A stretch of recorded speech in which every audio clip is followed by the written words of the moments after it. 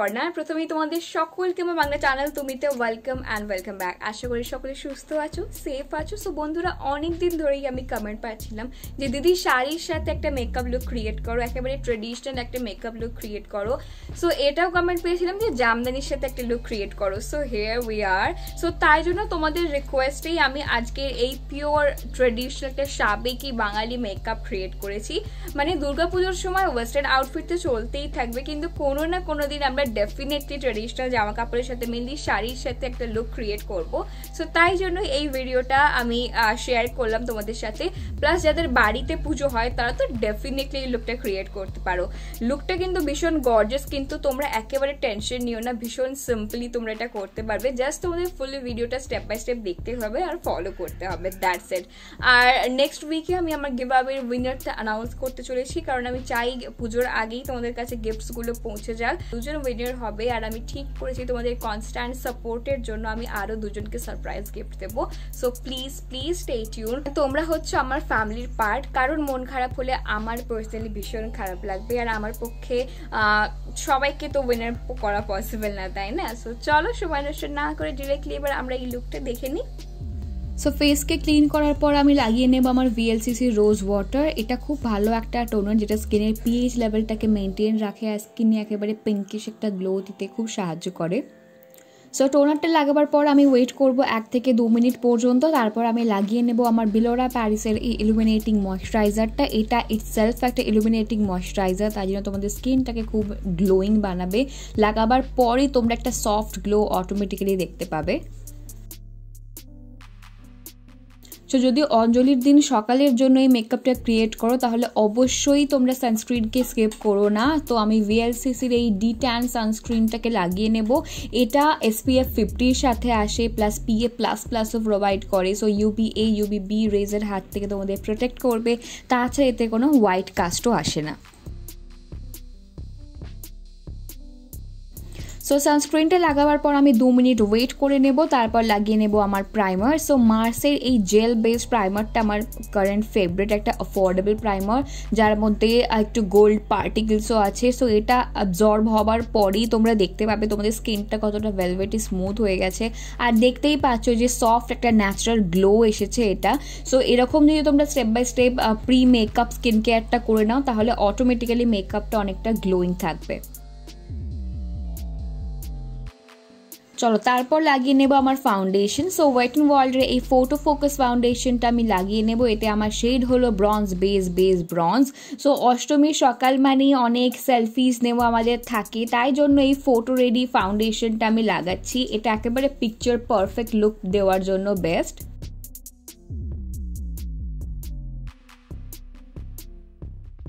So ফাউন্ডেশনটা almost আমাদের cover করেই দিয়েছে। তাই জন্য আমি একটা লাইট ওয়েট একেবারে লাইট শেডের কনসিলার লাগাচ্ছি। এটা হচ্ছে ইনসাইটের কনসিলার যেটা অফোর্ডেবল প্রাইসে আছে। তো তোমার যদি হালকা ডার্ক সার্কেলস থাকে কিংবা স্পটস থাকে ডেফিনেটলি এটা হাইড করে দেবে। এটা তোমাদের মিডিয়াম কাভারেজ প্রোভাইড করে।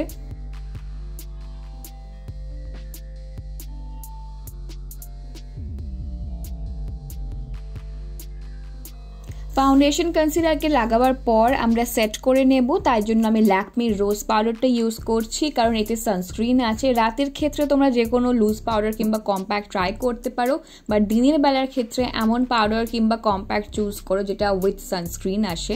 সো এবার ডেফিনেটলি তোমাদের ফেস মেকআপটা কালো হয়ে যাবে না, আর যে ফাউন্ডেশন ইউজ করছ always one tone lighter use করো, যাতে অক্সিডাইজ হলেও কোনো প্রবলেম না হয়। সো ব্রাউটাকে আমি কম করে লাগিয়ে নেব আমার হুইলারি রোডার এই ব্রাউ ফিলারটা সো এটাতে আমি আমার ব্রাউনের সাথে যে গ্রে শেডটা আছে, দুটোকে মিক্স করে লাগাচ্ছি। সো প্রথমে আমি আইব্রাউজের পিছনের দিকটা ফিল করে নেব, কারণ যখন আমরা ব্রাশটাকে ডিপ করছি, তখন একেবারে ডার্ক পিগমেন্টেশন আমাদের সামনের দিকে একেবারে ভালো লাগবে না আর্টিফিশিয়াল লাগবে, তাই জন্য পিছনটা আগে ফিল করে দেন গ্র্যাজুয়ালি সামনের দিকে তোমরা মুভ করো।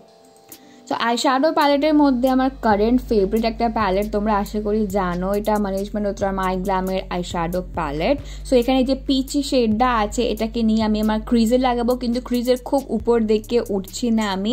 জাস্ট আমি আমার আউটার ভি কর্নারটাকে ইন্টেন্স ইন্টেন্সিফাই করছি। দেন আমি এখানে যে রেডিশ একটা পার্পল শেড আছে, এটাকে একটা মিনি ফ্লপি ব্র্যান্ডিং ব্রাশের হেল্প নিয়ে লাগিয়ে নেব। আমার ফার্স্ট ট্রানজিশন শেডের নিচে এটাকে আমি প্লেস করছি আর প্রথম শেডটার সাথে খুব ভালো করে ব্লেন্ডও করে দিচ্ছি। সাথে আমি আমার লোয়ার ল্যাশ লাইনেও এই শেডটাকে লাগিয়ে নিচ্ছি। এরপর এখানে যে কপার শেডটা আছে, এটা একেবারে পিগমেন্টের একটা শিমরি শেড এটাকে আমি একটা ফ্ল্যাট ব্রাশের হেল্প নিয়ে আমার লিডসে লাগাচ্ছি। সো এটাকে আমি অলমোস্ট ফুল লিডসেই লাগাচ্ছি। জাস্ট আউটার ভি কর্নারটায় আমার ওই পার্পল আর রেডি শেডটা লাগানো আছে। সো দেখতেই পাচ্ছ কতটা সুন্দর এই শেডটা একেবারে ফেস্টিভ্যাল রেডি একটা আই শ্যাডো প্যালেট বলতে পারি আমি এটা। সো অঞ্জলি মানে একটু কাজলের টাচ তো থাকতেই হবে, আর স্পেশালি অষ্টমীর জন্য এই লুকটা আমার ভীষণ ফেভারেট সো বিলোরা প্যারিসের কাজল পেন্সিলটা তোমরা ট্রাই করতে পারো।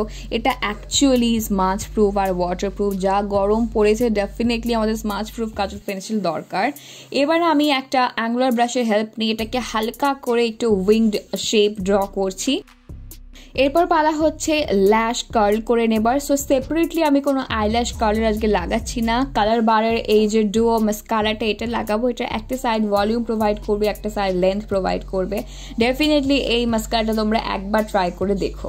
আই মেকআপের পর পালা হচ্ছে ফেসটাকে কন্ট্রোল করে নেবার। সো কে বিউটির এই কন্ট্রোল স্টিকটা আমি অ্যাপ্লাই করছি, কারণ এটা ভীষণ ক্রিমি তাই খুব ন্যাচারাল লাগে ফেসে আর ব্লেন্ডও তাড়াতাড়ি হয়ে যায়। সো ক্রিম কন্ট্রোলটাকে সেট করার জন্য ডেফিনেটলি একটা পাউডার কন্ট্রোল আমার লাগবেই, কারণ আমার ফেসটা একটু রাউন্ড তো আমি আজকে শিবানা কালার্সের এই মেকআপ স্টুডিও প্যালেটে যে কন্ট্রোল শেডটা আছে, এটাকে দিয়ে আমার ফেস আর নোজকে কন্ট্রোল করে যে সেম প্যালেটে যে পিচে ব্লাশটা আছে, ওটা লাগাবো। এটা ভীষণ পিগমেন্টেড একটা ব্লাশ দিনের ক্ষেত্রেও খুব ন্যাচারাল লাগে এটা।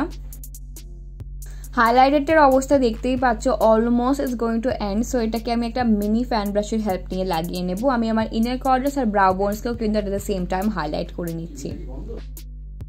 তারপর আমি এনওয়াই বেইর এই লিপ লাইনারটাকে ইউজ করে নেব। এতে আমার শেড হলো জিরো টু এটা একটা হালকা রেডিশ শেড দেন আমি ইউজ করে নেব আমার পার্পল মিনিজের এই লিকুইড লিপস্টিকটা এর কালারটা একেবারে অন্যরকম, একটা রেড সো ভীষণ সুন্দর ইন্ডিয়ান স্কিন টোনের ক্ষেত্রে এটা খুব ভালো যাচ্ছে। দেখতেই পাচ্ছ কতটা পিগমেন্টেড আর একেবারে ম্যাট একটা কালার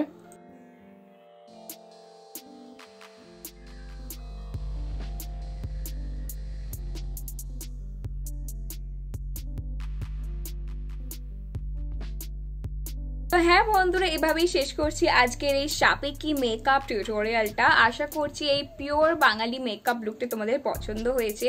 সো দিদি, কীভাবে মেকআপ করব?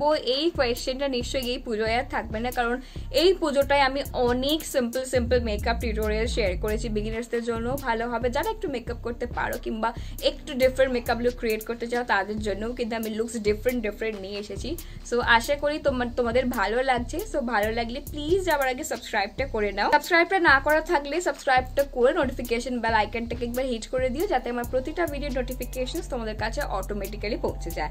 আর ভালো লাগলে অবশ্যই একটা লাইক করে দিও ভিডিওটা শেয়ার করো, নিচে কমেন্ট সেকশনে কমেন্ট করে আমাকে বলো যে কেমন লাগল আপকামিং আর কী কী লুক দেখতে চাও, যে রিকোয়েস্টগুলো আছে সেগুলো অন দ্য ওয়ে সেই ভিডিওগুলো আসছে সো প্লিজ সাথে থেকো। চলো সবাই সুস্থ থেকো, সাবধানে থেকো, টাটা!